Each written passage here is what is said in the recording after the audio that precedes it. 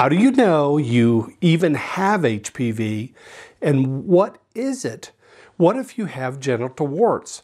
Well, stick around and I will share with you all you need to know about HPV and cervical cancer.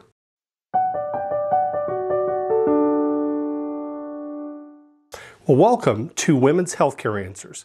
I am Jeff McQueary, a Tennessee gynecologist. I want to focus on you, especially if your gynecologic problems are dominating your life and you want to take back control. You can solve your problems with answers and solutions I will give you. Have you ever been told you have high risk HPV or even have an abnormal pap smear? Do you know what to do? Well, let me be your guide into the world of HPV. Stay till the end to learn much more about the HPV vaccine so I can dispel the concerns you might have about that. What is HPV? HPV stands for human papillomavirus. It consists of a family of small DNA viruses, and these are there's different types that infect the skin, and it acts differently because it does not change a lot like the COVID virus did, which was an RNA virus. Smallpox, herpes, and chickenpox are examples of diseases caused by DNA viruses. But HPV is very similar to those other viruses because they can stick around for years. The most common sexually transmitted infection in the US, with 14 million infections per year, are diagnosed in the US alone. In fact, 45% of all women in the US will test positive for HPV at some point in their lifetime. But remember, it's not HIV, which is AIDS, or HSV, which is the herpes virus. It is a distinct virus from those. But HPV has more than 200 different types of viruses, but only 40 of those types infect the genital area. This is what we are most concerned about today.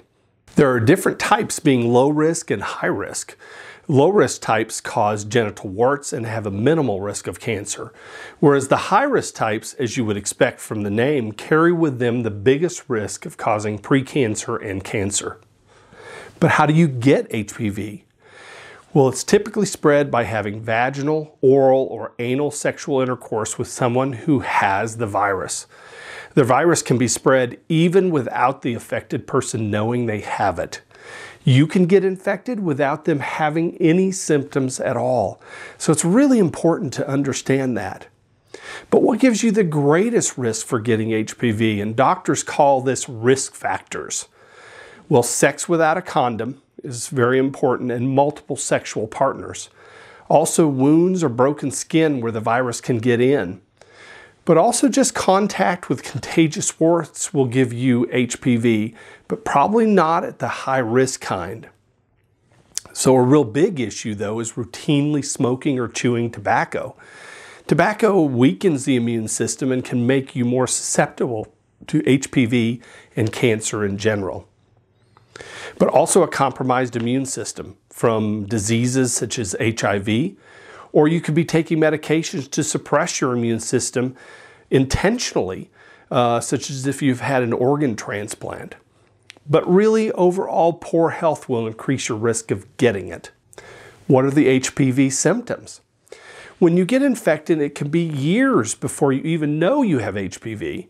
If you ever got cancer, it could be decades after first getting the virus. But really, the good thing is 90% of new infections become inactive within two years because your immune system can defeat the virus. Certainly a case for staying healthy. But pap tests are also important to look for abnormal cells in the cervix that could contain HPV. You should get a pap at age 21 and every three to five years after that, depending upon how many risk factors you have as we talked about earlier. PAP tests typically stop at around the age of 65. We can also test for HPV at the time of PAP test or even by itself. You may even detect you have genital warts. And this can be distressing, but can be a sign you have contracted other types of HPV. Warts are not cancer and can easily be treated in the office or uh, with home medications. What are the types of cancer caused by HPV? We are talking mostly about the risk for cervical cancer, obviously, but other types of cancers can be caused by HPV. are anal, vaginal, vulvar, the outside of the vaginal area, cancers of the back of the throat, and the male penile cancer, which we will really not talk about today for obvious reasons because I'm a gynecologist mainly. So if you like this video so far, hit the like button. I hear that it really helps with YouTube. And please subscribe because I just couldn't make it if you missed any of my new medical videos coming out every week. Who am I going to talk to? I need you here. It keeps me going and I want to help you, so please come back and comment. So back to the information you want. How can you avoid HPV? Well, get PAP's test and HPV screening. Use condoms correctly every time and protect yourself as much as you can.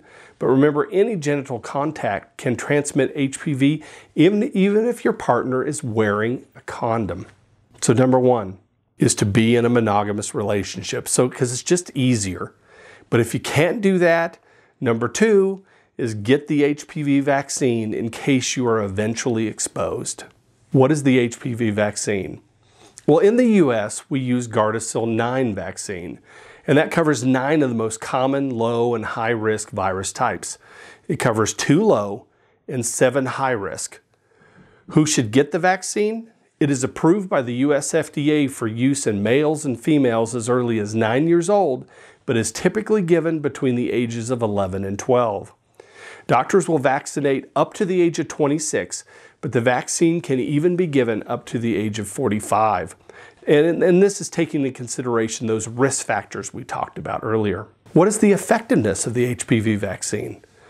According to cancer.gov, research trials that led to approval of Gardasil 9 found it to be nearly 100% effective in preventing cervical, vulvar, and vaginal infections and precancers as well, caused by all seven cancer causing HPV types that it targets. That is very significant. What is the dosage and how is HPV vaccine given? Well, it's typically given in two separate doses about six months apart, and this is really what's recommended most of the time. But three doses should be given over the age of 15 or if your immune system is compromised. But also, one dose is better than none and this is recognized by the World Health Organization, but really not by the US FDA.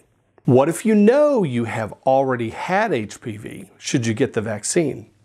Well, getting it will not hurt you, but it could help you prevent getting any other types of high risk HPV. So I think it's a good idea.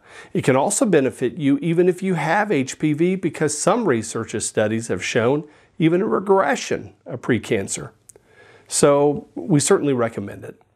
What are the common concerns about HPV vaccine? Well, there's often lack of education about vaccines and cervical precancer and cancer. And this can often be because doctors have little time for these difficult discussions. You need the information though. But parents also get concerned that getting the vaccine will encourage sexual behavior in their children. And that has not been shown to really be the truth but your kids will eventually be sexually active whether you like it or not. Too many vaccines, yes. It is just one more of many, I understand. How safe is the vaccine? Gardasil 9 was approved by the FDA for use in 2014, and the safety of the Gardasil 9 was studied in clinical trials with more than 15,000 participants before it was even licensed to be released. So it was really highly studied unlike obviously our COVID 19 vaccine initially. During the first five years of use, 28 million doses were distributed with very minimal risk noted. So the good thing is it continues to be monitored and it's continued to be safe for over nine years. As a side note, the vaccine does not affect fertility and is safe before you are trying to get pregnant. What are the common side effects? Pain, redness, or swelling in the arm where the shot was given. And that's a common side effect of any shot, as well as fever because of your immune system being activated. But it can also cause some headaches or feeling tired, nausea, muscle or joint pain, and even dizziness. Who shouldn't take the vaccine? Well, obviously, if you've had a severe allergic reaction to the vaccine, don't take it. Don't take it again. So if you've taken one dose and and had that reaction, don't take another. But if you're pregnant, don't take it. And if you have an allergy to yeast, you should talk to your doctor. It may not be recommended. So I want you all to understand that cervical and HPV related cancers are a significant national and worldwide health issue. The Gardasil 9 HPV vaccine is safe and effective in preventing cervical and other cancers. And it really is estimated that the vaccine could prevent up to 40,000 new cases of HPV related cancers and could even virtually eliminate cervical cancer over time. So even if you have a prior infection, you should be offered the vaccine and take it. And definitely talk to your doctor about ways you could also prevent HPV infection. Hopefully you feel you learned something. And as always, I have enjoyed being here with you. I would love to help you solve your problems at Women's Healthcare Answers. Remember, this video is meant for information purposes only. Please consult your own healthcare provider, but it is okay to reference the information I gave you.